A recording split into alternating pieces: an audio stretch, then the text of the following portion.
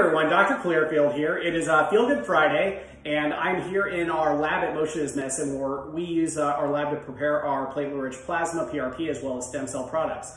And today we're going to be doing a uh, stem cell uh, procedure to help a patient's knee feel better so that they are able to um, get back out and enjoy doing the things that they enjoy doing again. And so with the uh, adipose-derived stem cell, what we're doing is a liposuction-based kind of procedure, not cosmetic. If it makes you look better, then fantastic, but we're taking out just enough fat that we're able to take it, clean it, concentrate it, and get the uh, um, aspect of it that has the, uh, the stem cell product within it, and that is able to be injected into them, and that allows their body to stabilize the joint and be able to make it feel better. And if it regrows tissue, then fantastic, but the biggest thing that we're trying to do is restore function with them. So stay tuned, take a look at it.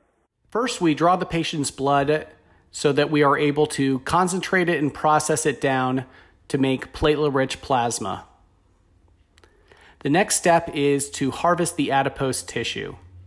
After cleaning, prepping, and sterilizing and numbing the tissue, we make a small incision and inject an anesthetic tumescent fluid that helps prepare the tissue for the liposuction procedure. The next step is the liposuction process. Today we're performing it on the lower abdominal area, but we can also perform this on the flank area, the upper buttock, and even the upper thigh.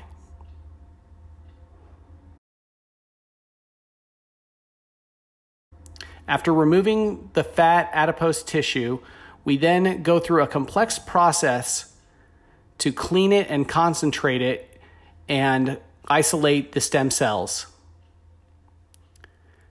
The final portion of the procedure is both of these are then injected into the area of concern. In this case, it is into a patient's knee for their knee arthritis.